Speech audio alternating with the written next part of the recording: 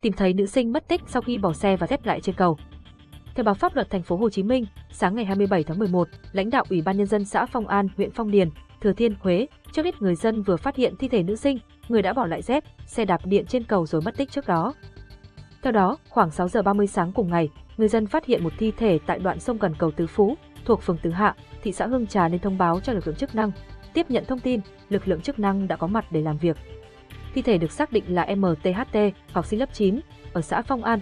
Địa điểm tìm thấy thi cách vị trí nữ sinh bỏ lại dép và xe trên cầu khoảng 4 km. Trước đó vào khuya ngày 24 tháng 11, em Thi rời nhà đi đến cầu An Lỗ.